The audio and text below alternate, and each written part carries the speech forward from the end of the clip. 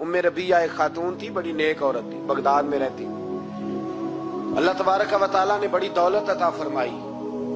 इनकी शादी भी एक दौलतमंद से हुई। फरमाती हैं कि मैं छत पे बैठी थी अपने शोहर के साथ। वो दौलतमंद तो बड़ा था, पर मुतकबर भी बड़ा था। दरवाजे पे फकीर मांगने आया।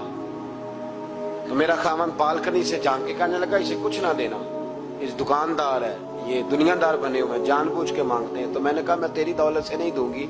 मेरे मेके से जो कुछ आया, उसमें से देने की इजाज़त देना। उसने कहा, जाना ही नहीं। तो औरत कहती है, उस उस मांगने वाले का। उस जो दरवाजे पे शख्स खड़ा था, उसके मांगने वाले का जो अंदाज था, वो बताता था कि कई दिनों का भूखा है। उस जवान के चेहरे पर अजीब भूख थी।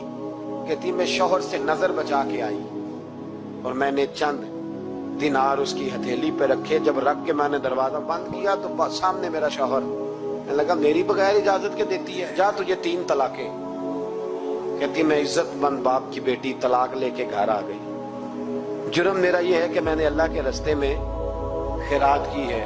कहती है, मेरा वालिद परेशान गलती जिसकी मर्ज़ी हो, कसूर तो बेटियों का ही होता है लड़के पाक के पाक रह जाते हैं।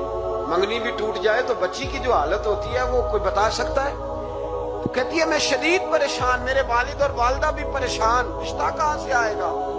एक दो साल हम शदीद करब में रहे, रिश्ता आया तो बड़े अमीर आदमी का। मैं तलाक याफ्ता थी, पर बंदे कवारे का रिश्ता आया। कहते, जब वो रिश्ता हो गया, मैं पहले दिन अपने खामन के पास गई तो मुझे कहने लगा, मुझे जानती हो मैं कौन हूँ?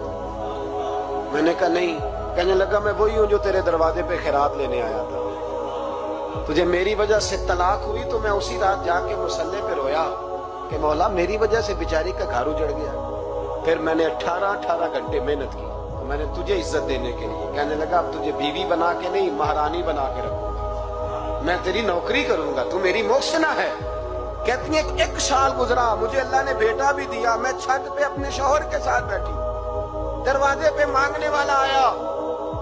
तो मेरा शोहर सारे काम खुद करता था आज जब मांगने वाला आया तो कहने लगा जब कोई मांगने आया तो तूने देने जाना है कहती है मैं दरवाजे पे मांगने वाले को देने गई तो मेरी चीख निकल गई मैं थड़ाम से गिरी मेरा शोहर दौड़ा आया क्या हुआ कहने लगी पता है मांगने कौन आया ये वही है जो मेरा पुराना शोहर था बेपरवाही वेग सज्जन दी जिथे किसे दी पेश न जावे ਉਹਨੇ ਤਾਜਾਂ ਵਾਲੇ ਦਰ ਦਰ ਰੋਲੇ ਤੇ ਮੰਗਤਿਆਂ ਤਖਤ ਬਿਠਾਵੇ ਓਏ ਸਜਣਾ ਕਿਸੇ ਨੂੰ ਘਰ ਆ ਮਿਲਦਾ ਹੀ कोई काबे खाली आवे कहती हूँ मेरे भैया कि वो शख्स मेरे दरवाजे पे मैं रोने लगी दौलत का तकबर करते हैं लोग